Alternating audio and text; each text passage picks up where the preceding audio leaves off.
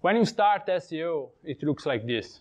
It's uh, overwhelming. There are so many things, so many theories, so many roads you can take, and it is a little bit uh, a labyrinth. So in order to make it uh, more clear for you to understand, you have to learn how the entire process works. What happens when you type a search in the search box? And it goes like this. So it starts with a search query. You search for something. And of course, uh, this uh, you have noticed, I don't know if you, if you realize that, but Google is trying to satisfy your query in the very moment you type the first letter. You type something, you already have results there, which are previous queries of previous users, right? So it, it tells you, he, yes, Google, he, for me is, is he. He tells you, maybe you are looking for this, and maybe you are, maybe you are not. But from the very first letter Google is trying to satisfy your intention.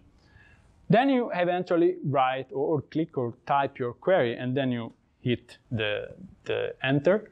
And then what happens is that the search engine, oh, by the way, I say Google, but this is the same with every search engine, so just uh, Google biased. Uh, the search engine tries to understand what is that you are looking for. And this is not just uh, a matter of keywords. It used to be a matter of keywords, but today search engines are very, very smart. They actually try, there is a, a new old algorithm in, in, Google which is called uh, blank, I don't remember, RankBrain,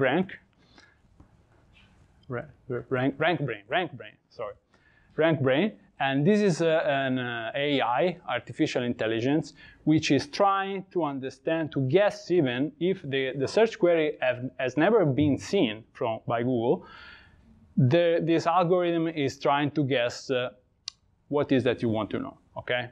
And uh, sometimes it works, sometimes it doesn't. There were like even big problems with that. But I think is that uh, there is a, a whole part of the algorithm that is processing your query and it spends a lot of computer time trying to understand. Again, remember that the, the purpose is to give you meaningful results. So for example, if I type black shoes, right? I'm looking for shoes. Do I want to buy or do I want to just see shoes? Are these sports shoes or I'm going to a wedding? And of course, Google doesn't know but based on uh, things like my previous searches and other things like location, time of the year, whatever it is, they can guess what is that I'm looking for. So if I was in the previous query, I was looking for uh, football shirts, and then I, I write black leather shoes, which are another, another page, another tab, another totally different query, probably I'm gonna get football shoes, not wedding shoes, because, because they're trying to understand what the hell I want, okay? Try it, try it when you go home, try it. What happens next?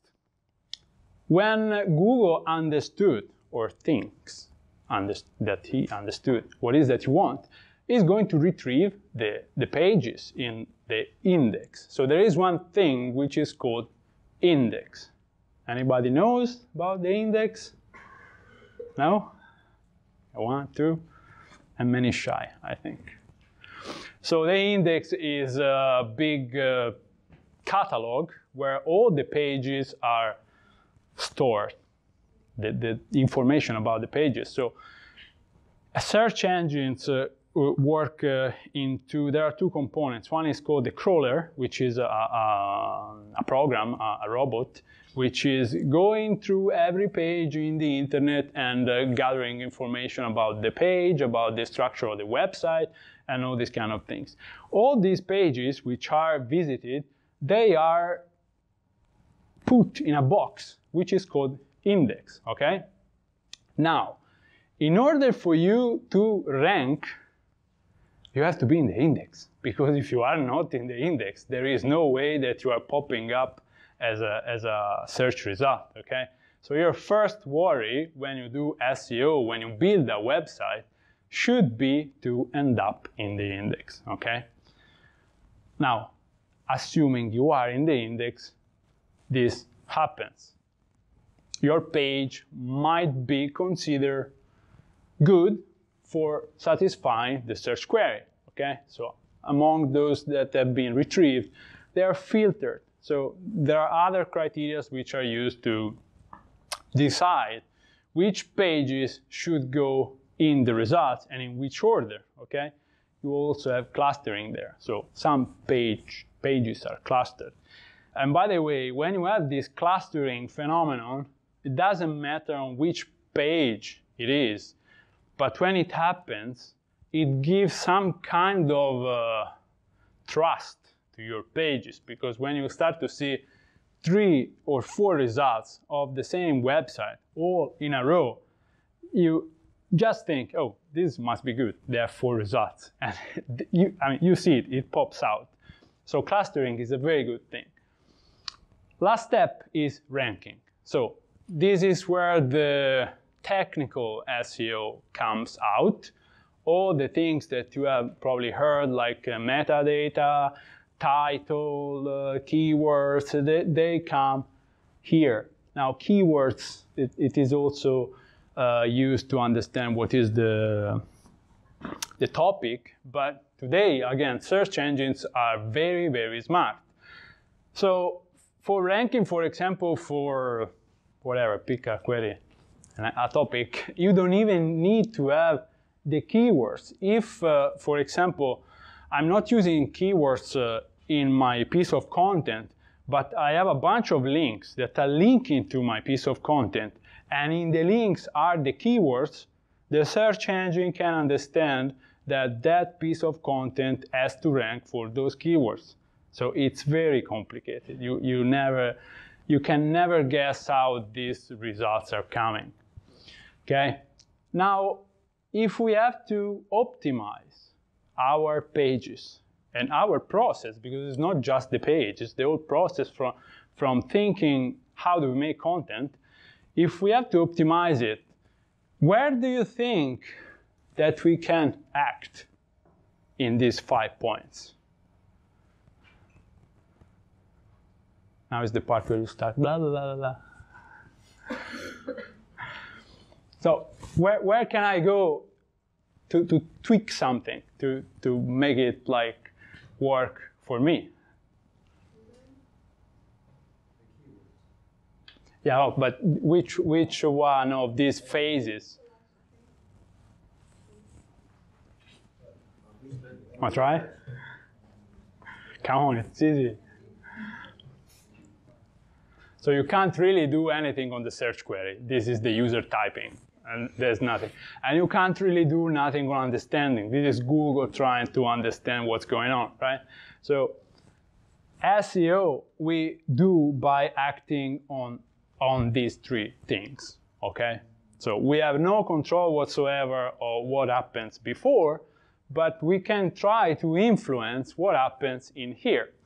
And uh, so first thing, retrieving, you must be in the index. So you have to make them sure that when you make a new page, or if you have a website and you are not sure if you are indexed, do it now. Just uh, you write site uh, colon and then the name of your website, and you get all the list of uh, pages that Google has about your website.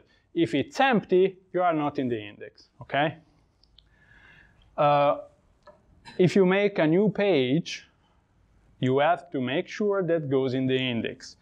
The quickest way to do that, to have it indexed, is to share it on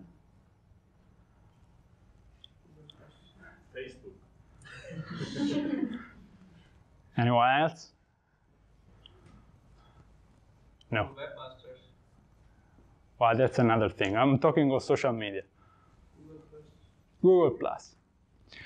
So if you share it on Google Plus, no matter which account, it's indexed immediately. it goes immediately in the index. Filtering and clustering. So we, for that, we need our content, uh, the, the, our pages, we need them to be relevant to the search query. So as we discussed before, you have to, to choose a bunch of keywords, a, a topic, or at the very least, on which you're going to, to write about. And uh, this ends up in giving you a chance to get chosen for that particular set of keywords.